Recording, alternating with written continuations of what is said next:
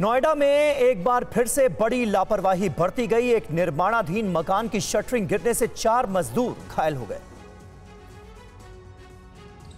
घटना नोएडा के सेक्टर 36 की है, जहाँ यह बड़ा हादसा हो गया। मकान के शटरिंग गिरने से चार मजदूर घायल हो गए, जिसके बाद आसपास के इलाकों में सनसनी मच गई। आनंद फानन में घायल मजदूरों को नजदीकी अस्पताल में भर्ती कराया गया। वहीं एक मजदूर को गंभीर चोट आने की वजह से दिल्ली रेफर कर दिया गया है। फ़िलहाल, मजदूरों के साथ हुए इस हादसे की शिकायत अब तक कोतवाली में नहीं की गई है। पुलिस का कहना है की शिकायत के बाद ही आगे की कार्रवाई की जाएगी। दरअसल, नोएडा के सेक्टर 36 में रतन नाम के व्यक्ति ने कुछ दिन पहले मकान खरीदा था और मकान में निर्माण का काम करवाया जा रहा था। निर्माण का कार्य चार मजदूर, संजीत सिंह, सिराज, सुव्रत हलदार और अभिनंदन कर रहे थे। अचानक मकान के शटरिंग गिरने से चारों मजदूर उसमें दबकर घायल हो गए। मजदूरों की चीख पुकार सुनकर आसपास के लोग मौके पर जमा हो गए, जिसके बाद घटना की सूचना पुलिस को दी गई। घटना का एक वीडियो भी सोशल मीडिया पर वायरल हो रहा है। पुलिस मामले की जाँच कर रही है और इस बात का पता लगाया जा रहा है कि लापरवाही किसकी तरफ़ से बरती गई।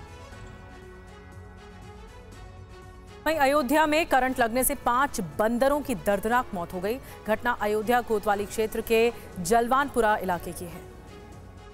घटना के बाद विद्युत निगम के खिलाफ लोगों में आक्रोश है। अयोध्या रेलवे स्टेशन मार्ग से सटे कॉलोनी जलवानपुरा में सुबह पाँच बंदर करंट की चपेट में आ गए, जिससे उनकी दर्दनाक मौत हो गई। कंटीले तार की बाउंड्री में करंट उतरने से यह हादसा हुआ है। स्थानीय लोगों का कहना है कि बिजली विभाग की लापरवाही के चलते तार में बिजली का करंट उतरा।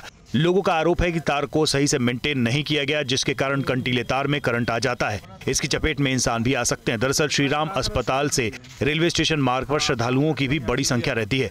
भीड़ भाड़ वाले इस इलाके में करंट फैलने से कभी भी बड़ा हादसा हो सकता है।